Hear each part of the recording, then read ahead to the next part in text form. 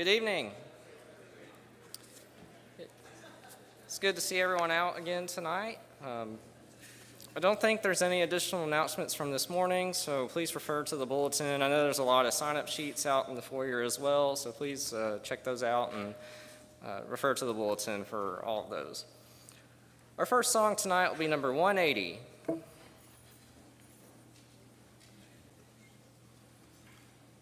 one eighty.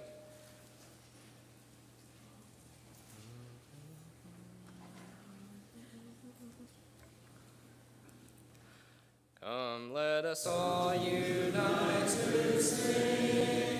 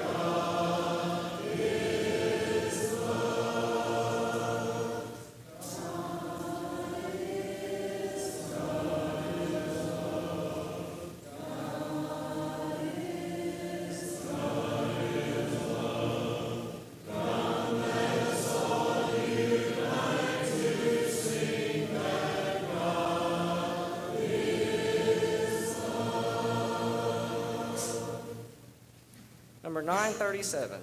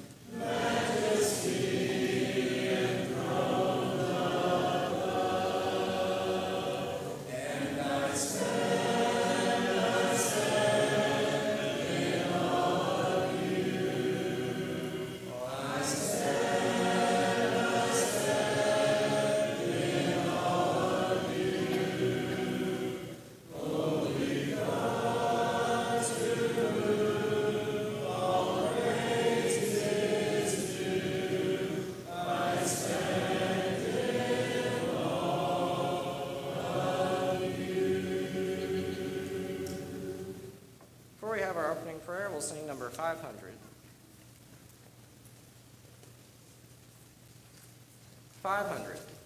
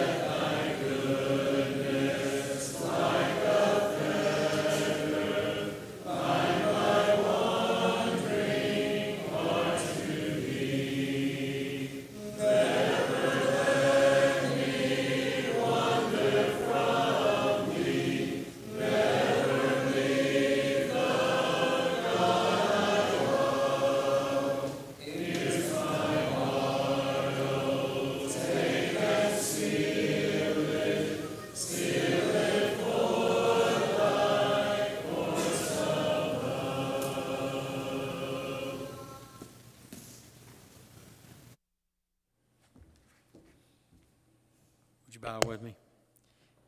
Our Father, which art in heaven, again, we're grateful and thankful for this day. We're thankful for many blessings of life. Heavenly Father, as we come to you now, we realize there are those who are uh, grieving over the loss of loved ones. We ask Thee, especially at this time, be with the mob's family and the loss of Brother Wayne. We ask Thee to comfort that family as only you can. Heavenly Father, we ask Thee to be with this church as we continue forward. We ask Thee to be with each member, bless each member as each member makes a contribution to this church. Heavenly Father, we are mindful of the works of the church. We ask Thee to be with them and bless those that, that uh, are involved in these works. Heavenly Father, we ask Thee to be with the speaker of the hour tonight as he presents those things to us. May, we, may he have a recollection of those things, and certainly may we be attentive in nature that we might grasp those things that are said and presented here tonight to us. Heavenly Father, we ask Thee to continue to be with our Bible school teachers as from time to time they do the preparations for lessons. We're thankful for those lessons and the preparations and the effort that is put forth. Heavenly Father, we ask Thee now to continue with us not only through this service tonight, but throughout this upcoming week and throughout life. Continue to bless us and keep us. This is our prayer in Christ's name we pray. Amen.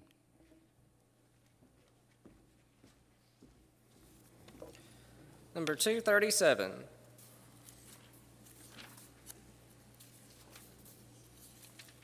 Two thirty seven.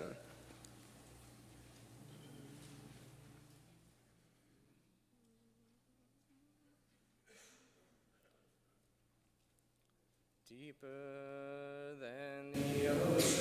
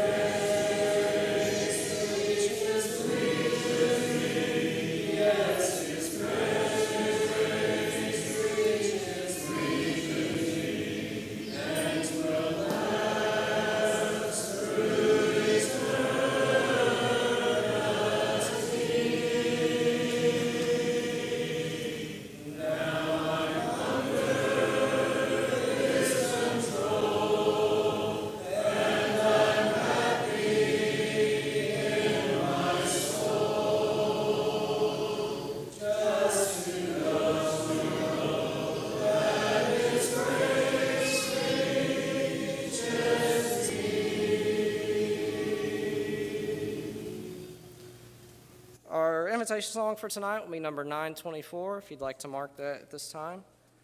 924.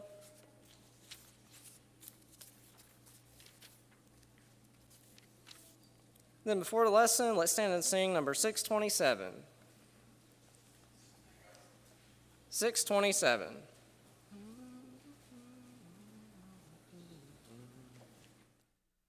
I'm in the way,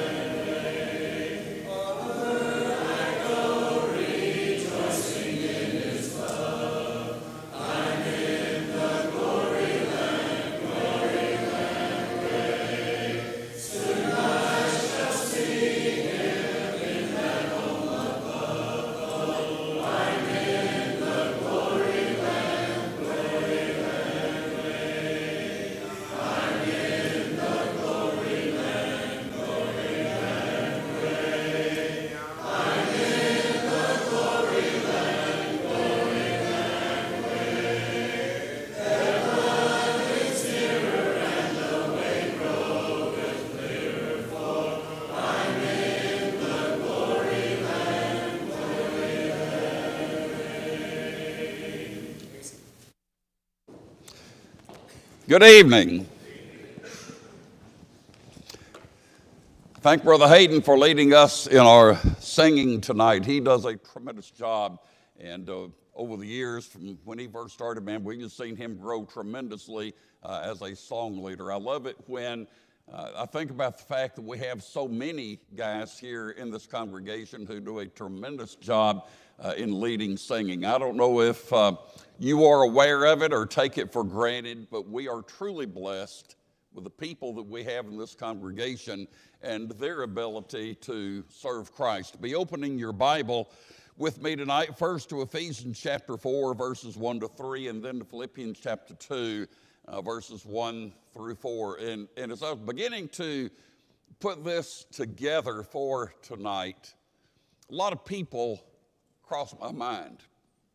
And I think about not doing what you see on the screen, how to kill a marriage, but how to be what God wants us to be, how to have a healthy marriage, a strong marriage, a marriage that thrives. When I think about things like that and where we're going with this tonight, there are a lot of people that cross my mind. Little did I know when I started this that Thursday night, Janie and I would be sitting at the Ryman Auditorium. Well, I knew we would be doing that, Lord willing, but I didn't know that uh, just as the Earls of Leicester were striking up their first tune Thursday night, I, I would get a phone call, have my phone on vibrate so it didn't go off and disturb the bluegrass music, uh, but it was Brother Don Mobbs. And uh, I texted him, uh, Can you text me? I'm sitting at a concert.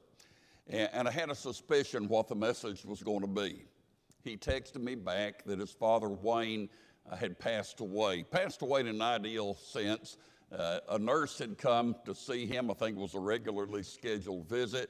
Check his vitals. Everything looked good. He looked like he was in good shape. And Don said that he just sat back in his chair, took a breath, and died. And my reaction to that was, what a way to go. That's probably the way that all of us would choose to leave this life, and our time is coming, whether we like it or not. Had a conversation with my sister this morning. And if you don't know who my sister is, that's, that's Jan, and that's kind of a personal joke uh, between us. Not really a joke, because she is a wonderful sister in Christ. Several years ago, when she was our church secretary, she walked over into my office on a weekday afternoon, and I couldn't tell you what day of the week it was. And she said, There's a gentleman at the door who wants to talk to you. He says that he needs help. To those of us who preach, especially if you have been doing preaching as your life's work for any length of time at all, when you hear that, there's someone at our door who wants to speak to you, he says he needs help. You immediately roll your eyes and you think, oh, here we go again. Because that is typically somebody there asking for money, financial assistance in some sort of way. And uh, those of us who have done this for any length of time at all realize that there are some very interesting and very creative stories that put, get put together sometimes as to why that need has arisen. So I said, Oh, okay, show him in. And I was not excited at all.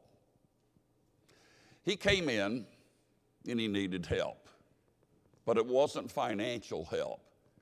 He needed emotional and spiritual support that says absolutely nothing negative about him. He had just went through the death of a spouse who died after a lengthy battle with cancer. And he needed spiritual and emotional help on that occasion. I'll tell you no, no more about it than that. We prayed together, we talked.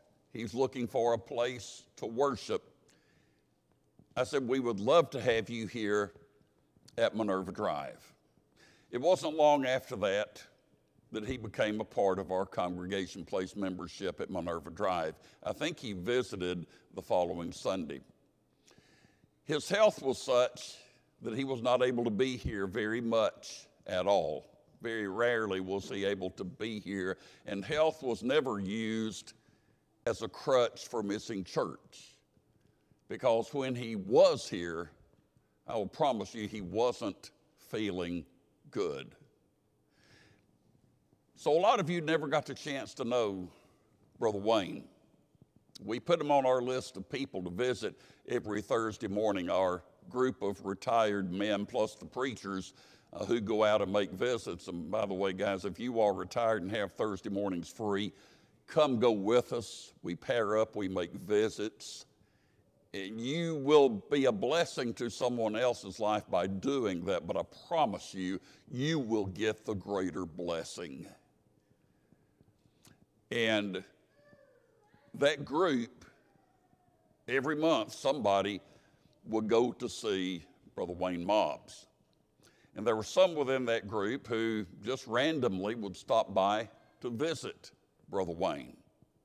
And all the time that I knew him, not one time did he ever ask for anything other than friendship.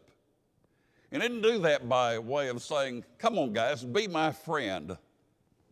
He gave his friendship, he gave his love, he gave his warmth. And I wonder if all of us who claim to be followers of Christ lived our lives that way. How much would that improve our life as a congregation? How much would that improve our marriages? How much would that improve relationships between people? And Paul says in Ephesians chapter 4, verses 1 to 3, Therefore I, the prisoner of the Lord, implore you to walk in a manner worthy of the calling with which you've been called, with all humility and gentleness, with patience showing tolerance for one another in love, being diligent to preserve the unity of the Spirit in the bond of peace. And then he goes into that great discussion of the ones that exist in Christ. A text that says so much about relationships is Philippians chapter 2, verses 1 to 3, really going through verse 11 of that chapter. I'm going to quit at verse 3. This says so much about relationships if we want to have relationships that are blessed. Therefore, if there's any encouragement in Christ, if there is any consolation of love, if there is any fellowship of the Spirit, if any affection and compassion, make my joy complete by being of the same mind, maintaining the same love, united in spirit, intent on one purpose. Do nothing from selfishness or empty conceit, but with humility of mind, regard one another as more important than yourselves. It would be very easy for me to say that we're living in the midst of a generation that is self absorbed, but that's probably been the case about most generations that ever come along. By the way, be here next Sunday night. Uh, next Sunday night, there are going to be the three of us up here on the stage Brother Joshua and I and Brother Eddie Sanders. And we're going to be having a conversation. We're having a conversation. We've got a roadmap, a direction that we want to go. It's going to be somewhat off the cuff. It is not going to be scripted. But we're going to be talking about where it is and how it is that we find any sense of validation, and maybe even if that is a legitimate thing, to be seeking, to be seeking validation, to be seeking approval. How do we go about doing that? I don't know exactly what all is going to come out in that conversation because we're not going with a printed script. But I do know one thing. If we truly want to have a life that is worth living, if we truly want to experience joy, peace, and love in this world, and if we want our marriages to thrive rather than just to be something that we're able to endure, we need to get a hold of these very, very basic biblical fundamentals. And we need to have that goal in mind for our marriages. Hebrews chapter 13, verse 4 says, in some translations, that marriage is honorable in all, and the bed is undefiled, but whoremongers and adulterers God will judge. In other translations, it says marriage is to be held in honor. So, which is it? Well, if you, you read the Greek New Testament, I believe the conclusion you would come to is that both of those are very, uh, very valid translations. It is an honorable institution. By the way, you don't get to a verb in that text until you get to the last part where he says, whoremongers and adulterers, God will judge. Our marriages are to be held in honor. They are to be highly esteemed. And at the same time, marriage is an honorable institution. And so, do we want to have marriage relationships that thrive and that grow? Or do we want to have marriages that we're just barely able to endure? If you want your marriage to flourish, by the way, you're going to have to master some very basic, simple, fundamental principles of Christianity, of biblical morality. And one of those is what we're going to be talking about tonight. And it is this business of self. Am I going to be a selfish person or am I going to be a selfless person? And there is obviously a difference between the two. Think with me first, if you will, about the manifestation of selfishness, how it shows up in our lives. And it can be, it can show up in our lives in a whole lot of different ways. It might be easy for us to think about the typical spoiled wife. Not all wives are spoiled. My wife is certainly not a spoiled person. She revealed to me after I became engaged to Janie that she was really hoping that would come to pass, that I would marry her. And I asked her why. Her answer was a simple one. She is not spoiled. And I'm embarrassing her to death by telling you that tonight, but I th- because I think you ought to be told that. You think about that typical spoiled wife. I know a person, this is a fact. Uh, the names will not even be changed, protect the innocent, they just won't be mentioned. But a person I know went to the father of a young lady that he was in love with. He was about to propose to her, I want to marry your daughter. Can I have your permission? The father said, You can have my permission on this condition you never live more than 40 miles away from her mother and I. I would have walked out and found someone else. He didn't. He agreed to that. He married her and he found out that he was spoiled to, he was married to a spoiled mama's brat. That is something that is purely self focused.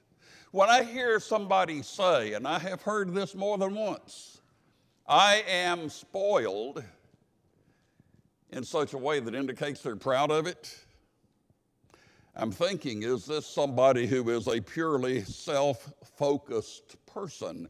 On the other hand, you might have the man who thinks that his wife was bred and born to be his own personal valet to wait on Him hand and foot, to meet His every need, to be constantly at His beck and call. I'm concerned when I hear a man say, by the way, I am in charge of my house. Brother Clyde McCullough a number of years ago, and I can say this because he said it publicly, kind of in a joking way. I'm going to share that joke with you. He waltzed into our ladies' Bible class one Wednesday morning and he said to the ladies, I want you to know that I run things at my house. And they're thinking, yeah, big boy, we know you do that. And he said, yeah, I run the dishwasher and the vacuum cleaner and the, and the washing machine. And some men are going to boast. I run things in my house, and what they're talking about is they, they rule that house with an iron fist. My feelings, what I want, what I think is the only thing that gets any kind of consideration. If you look at those, and we could just really expand that if we wanted to tonight. When we, when we look at those things, we're seeing people who are entirely self focused. And I believe it would be accurate to say that the culture in which we live is one that absolutely promotes selfishness. You think about those passages that I read in the beginning Ephesians 4, verses 1 to 3, and Philippians chapter 2, verses 1 through 4.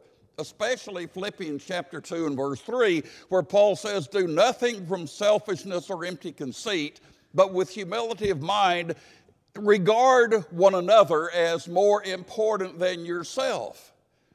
And if I'm to regard my brothers and sisters in Christ in this auditorium as being more important to me, one of those people in this congregation is this lady that sits right over here. And when I go home tonight, I need to regard her as being more important than me. We're drifting in a culture that promotes selfishness. We're looking for the cure, and we're not taking the cure, we're taking the rat poison when we listen to the messages that say looking out for self is the most important thing. Now, the message may not come in those precise words, but it comes with that precise meaning. Because we hear a lot about self love, self validation, self promotion in so many different ways. A preacher I've listened to a lot in recent days. He is not one of us, but for the most part, he has a very, very high respect for the inspiration and authority of scriptures as a man named Alistair Begg. He said this the other day that preoccupation with self esteem and self love are nothing other than a gloss for selfishness. Think about that for just a moment. Can I give you a moment to meditate on that? Preoccupation with self esteem, preoccupation with self love are nothing other than a gloss for selfishness. Self centered people who are committed to putting self first are going to have a very hard time mastering and obeying fundamental biblical principles. And how important are the fundamentals, by the way? Well, a number of years ago, I coached youth baseball. I didn't know a whole lot about baseball other than what I'd learned playing it in the backyard. But we tried to instill in these young boys some, some fundamental things. And at that time, uh, we had one of our local high school baseball coaches uh, worshiping with us quite a bit. And, and I'm not talking about Jason, I'm not talking about Jamie Carver, I'm talking about someone else. I was visiting him one night and I said, What's, what's one of the biggest obstacles you face in trying to teach young men how to play the game? And, and you mind you, by the time you get to a high school baseball program, you have typically played baseball for a lot of years. He said, Look, we have some people come and they're a part of our team, and nobody has ever told them how to properly hold the bat in their hands. Why is that so important? Well, in a high school baseball game, We've got some high school baseball players here, not former high school baseball players. You're out there and you got runners on base, you got, you got runners on second and third. You need one run to tie the game, one run to win the game in the bottom of the last inning. Do you want somebody up there at the plate swinging the bat who knows what they're doing, or somebody up there at the plate swinging the bat who is going to look like me? I think the answer is obvious. There are fundamentals and there are fundamental principles of living in relationships with other people. one of those is found in that verse in Philippians chapter 2 and verse 3 that we're not to do anything from selfishness. We're not to act out of empty conceit. We're to be humble in mind. and We're to regard one another as being more important than self. She is more important than me self centered people who are committed to putting self first are going to have a hard time obeying a principle like that. Self focused people, by the way, are going to fail at human relationships. And selfishness is an iceberg that is going to put a big hole in your ship and take it straight to the bottom of the cold, icy waters of the deep self centered people. They're the ones that pursue adulterous relationships for very selfish reasons. I've had on more than one occasion the sad situation of having to talk to somebody who is involved in an adulterous relationship, a sinful relationship. They're cheating on their wife. Brother, why are you doing this? And then he'll think about that young filly he's spending time with. And you know how it goes? It's never, well, she reminds me of what a wonderful woman I'm married to. It goes like this She makes me feel important. What went wrong? What caused you to stray to other pastures? Well, it's never something like this. I just get such a thrill and a joy out of serving my wife and meeting her needs my needs weren't being met at home. Self centered people, by the way, are not going to endure the necessary pain that is required to restore broken relationships. And sometimes marriage relationships get broken. And I've talked with people in, in just all kinds of messed up marriage situations. And typically, when somebody comes to me they got a big problem at home. One's been faith, unfaithful to the other. You know, I'm just kind of a first aid station. I might put a band aid on here and a band aid on there and a little mercurochrome somewhere else. Maybe a little rubbing alcohol to make them squeal a little bit. But typically, I'm going to say, you know, this is above my pay grade. I need to set you up with a marriage counselor. And one of two things is going to happen they're either going to go see the marriage counselor once, maybe twice, and then walk away from it and end up paying lawyers to get them a divorce. Or they're going to go through however many sessions of marriage counseling is required, and they're going to come out on the other side of that with a relationship that has been put back together. Now, in that first category, where they go once or twice and then wind up paying lawyers a lot of money to get them a divorce, here's what happens. Somebody, usually the husband, will say, you know, I, I, went to see that marriage counselor, and that what that person was saying, that's just a bunch of nonsense. Or someone says to me, Well, I went to that marriage counseling, and man, all they did was attack me and talk, uh, talk about what I was doing wrong. You see, what's going on is that when you get involved in something like that, you've got a painful experience. It's not a lot of fun for me to be told what I have done that has been harmful to my spouse or to my marriage relationship, I don't want to hear that. And so I shut the whole process down before it's had a chance to work.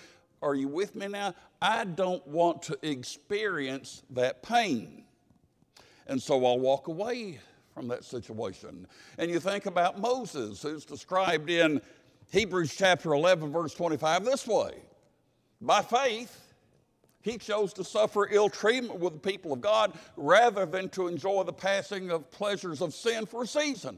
And people who are like that, selfish people, are never going to choose the hard path when it comes to something like that. Selfishness manifests itself a lot of ways in a marriage relationship. And, brothers and sisters, I would tell you tonight it's rat poison. It's the iceberg that will sink your marriage. I want us to move on now. If I can remember to click the thing, okay, there's, I didn't click it the first time. We're going to move on from the manifestation of selfishness to think about the momentum of selflessness. That's where we want to arrive tonight. To understand that we need to be selfless people. There's a biblical solution for this business of selfishness, but let me tell you something as we start down this path for just a few moments. It is going to take a lot of effort, and it's going to take some pain. Because what it's really going to require is that we learn to crucify ourselves. Someone said the world's tiniest package is that person who is all wrapped up in self. There's none so empty as he who is full of himself. And if you're full of yourself, you are absolutely full of nothing. You're empty.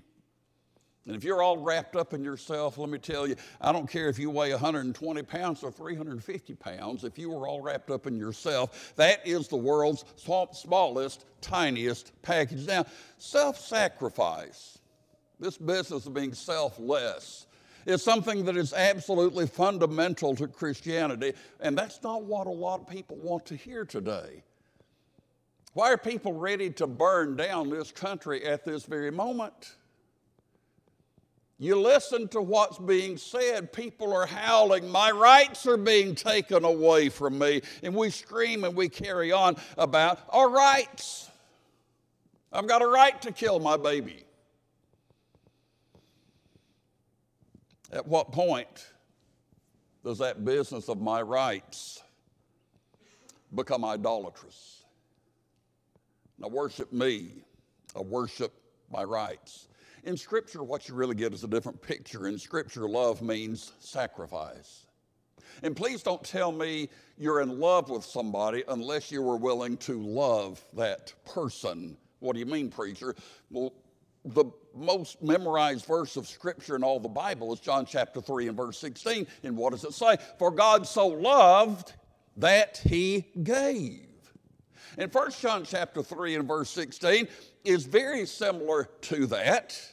We know love by this that he laid down his life for us, and we ought to lay down our lives for the brethren. And if you'll notice on the screen, there's a question at the bottom of that Do your spouses qualify? Do our spouses qualify? We know love by this. He, gave, he laid down his life for us, and we ought to lay down, down our lives for the brethren. Does that include my spouse? Well, certainly includes my spouse. She's a sister in the Lord as well as being my bride. Now, don't tell me that you're in love with somebody unless you are willing to love that person. How do you know that you love that person? It's not a feeling. You don't know that God loves you because of any feeling that you get. We have really embraced this business of feeling, and we need to push back from that just a little bit. Amen. We don't know love. We don't know the love of God because of some feeling that we get. That is nowhere in Scripture. With God and His love, the proof is in the pudding. God so loved the world that He gave His only begotten Son, that whosoever believeth in Him will not perish but have everlasting life. We know love like this because it just feels like we stuck our fingers in a light, in a light socket, electric socket. That's not what John says. Here's how we know love He laid down His life for us. And we need to be willing to do that for each other. How do I know that I love my wife? How does she know that I love her? Am I willing to sacrifice for her? Am I willing to give up me for her? And you need to be aware, by the way, you need to be aware of that word crucify for several different reasons. It's a very precious concept to us because Christ was crucified for our sins. He took our place, and because He went to a cross, I have eternal life. Oh, that's beautiful, isn't it? But you know what He says to me? He says, Yes, I was crucified for you, but here's what I want you to do if you're going to follow me. He says, Son, you need to go out and you need to find yourself a cross. You need to find yourself a big, heavy mallet, and you need to find yourself some spikes. And you need to get busy. Galatians chapter 2 and verse 20. I am crucified with Christ.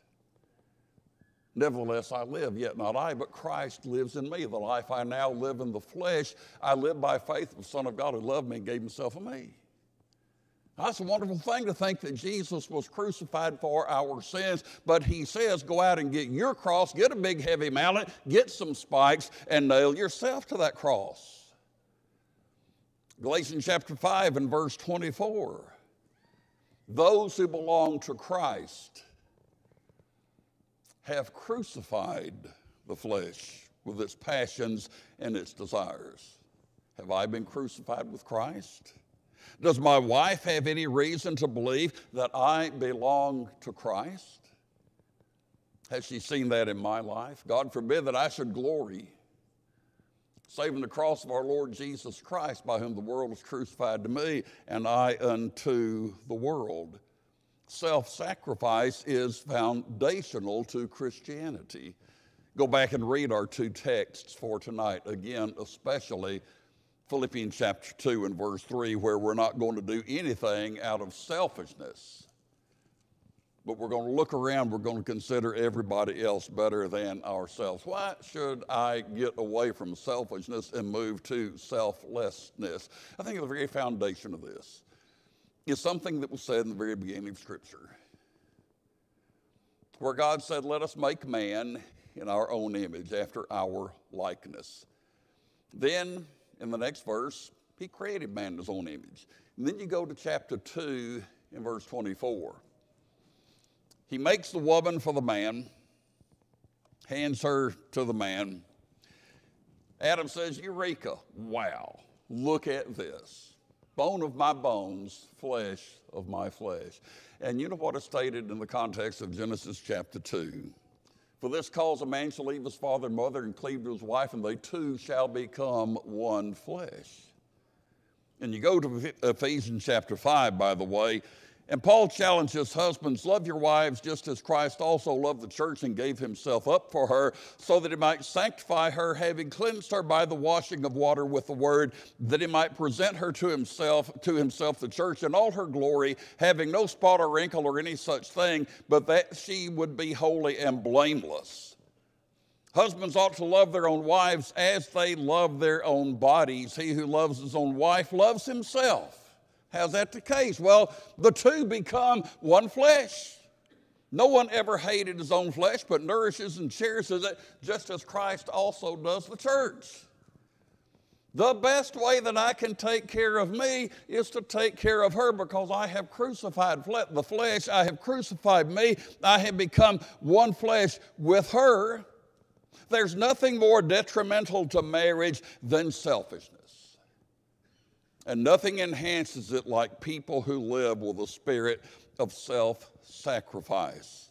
And I would suggest that we come to understand the greatest joys in life come when spouses learn to put each other first. What's the obstacle to me putting her first? I'm the biggest obstacle to that when I live with this insane desire that all my needs have got to be met, and that's life's number one goal. I got to move away from selfishness and allow selflessness to take over in my life and have such a wonderful momentum that everything I do is first going to be about Christ and then in my marriage be about serving my spouse. Guys, when was the last time that an action on your part was obviously an expression of sacrifice for the well being of your spouse? Ron's got to ask himself that question. When was the last time something you did was an action, was, was obviously an expression of self sacrifice for her well being. And taking the garbage out doesn't count. Got to go beyond that. Selfishness, rather selflessness, that's a tongue twister. Get those two confused. Selfish, selflessness shows us how to be like Jesus. And when we're being like Jesus, we're living in a self crucified way. Go back quickly to the upper room. John's account of it, chapter 13, verses 1 through 17. You take a good look at what happened in that upper room. And I'm talking about the time where Jesus got down on his hands and knees, got, got, down on his knees. He's going around the room. He's washing the feet of 12 apostles. Five toes on each foot, two feet on each body. What is that, 120 toes, something like that. He watched every one of them, washed every one of them.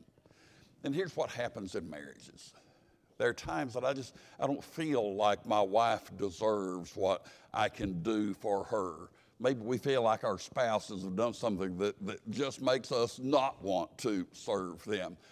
So think about that upper room. There's Jesus going around washing all of those feet. Did they deserve that act of service? Well, well, there's Judas, who momentarily is going to betray Christ. There's Peter, who not long after that is going to three times say, I don't know him. The rest of them are going to run away. Did Jesus know what they were going to do? He absolutely knew what they were going to do. And what did he do? Knowing what they were going to do, he didn't say, Well, the, these fellows don't deserve this. They've cut me off from any desire to serve them, to wash their feet. He got down and washed all of their toes, all of their feet, every last one of them. And I don't know that he pulled out a wire brush when he came to Judas. What are we talking about? We're talking about giving up our rights. We're talking about moving away from selfishness to becoming selfless people. Here's why that's so important. You can go back and read Luke chapter 22, verses 24 through 27 where they're having this argument in the upper room who's going to be the greatest. I may be wrong. It seems to me that washing feet comes after that. If he washed feet first and then made the application, they were surely the biggest bunch of blockheads who ever lived if they went from that to argue about which one of them is going to be the greatest. How do you become a great person? And that should never be our goal. In the eyes of God, it comes through service. Two people who love each other Neither worries about greatness, each is concerned about the other. Two people who love each other, my rights are never an issue. If two people love each other, they're going to gladly lay aside their rights, even their needs to care for the other. And here, here's what's going to happen, been my experience, my observation. Here's what's going to happen. The time is going to come when, due to either physical infirmities or whatever, my needs are going to be completely removed from consideration. Or the person's not going to be physically able to meet my needs or whatever. Now, if I'm a selfless person, I'm not going to gripe about that. I'm not going to complain about that. I'm not going to go through this little pity party, woe is me. I'm going to make myself the servant of that person. That's going to come at some point in your life. Can you swallow pride? Can you love that person? Don't say you're in love with that person unless you're willing to love that person. You've got to crucify self. What's, what's the greatest principle for a successful marriage? I really think it's right there. The crucifixion of self. Let nothing be done for your own personal glory. Let nothing be self serving, let nothing be self seeking, but with a great sense of humility and love, consider that other person greater than yourself. If you want to fix a messed up marriage, get that cross, get that mallet, get those nails, and crucify yourself, not literally, spiritually, emotionally, so that your greatest desire in life is to be your spouse's loving servant.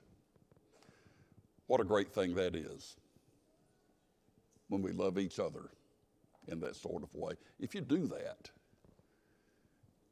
in the words of Paul Faulkner and Carl Brecheen, your marriage can be great. It will be great. Do you have enough humility tonight to say to Christ, I need you, I need what only you can give? I need salvation through your blood. If you do and you're willing to come to Him tonight, repenting of your sins, confessing your faith in Him, you can be buried with Him. Leave that old person behind. If you've gone through that, all of a sudden you look at yourself and you examine yourself and say, Man, I'm so full of myself, I've got to do something. We can help you with that. Confess your faults one to another, pray one for another that you may be healed. The effective, fervent prayer of a righteous man avails much. Let your life, let your marriage, let everything you do be done for the Lord. Will you come as we stand and sing?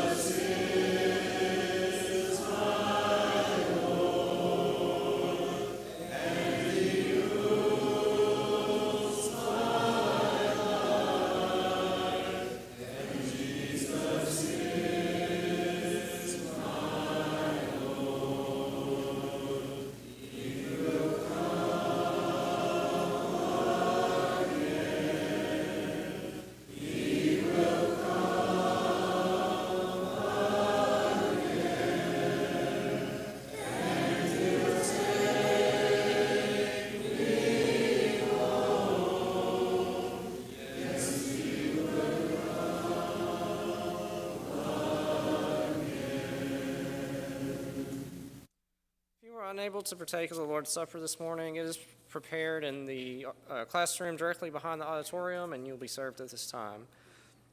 Again, it's good to see everyone here tonight. And if you're visiting with us, we extend a special welcome to you and hope you'll come back at every opportunity. Our closing song will be number 839.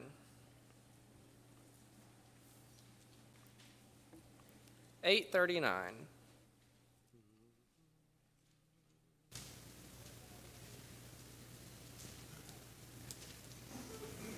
what a song of delight in the city.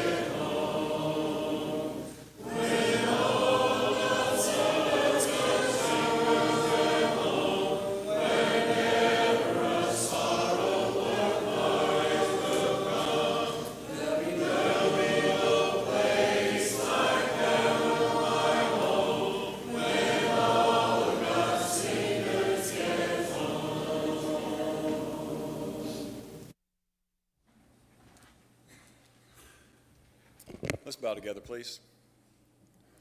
Our Father in heaven, we thank you for this privilege to be able to assemble on this evening to worship you and learn more about your will for our lives. We're also thankful, Father, for the opportunity to be able to fellowship together and to edify one another as we embark upon this new week. Father, as we start this new week, we pray that we'll do our best to emulate the life of Christ and to remember our mission on this while we're on this earth is to seek and save those souls that are lost. Be with us as we separate. In Christ's name we pray. Amen.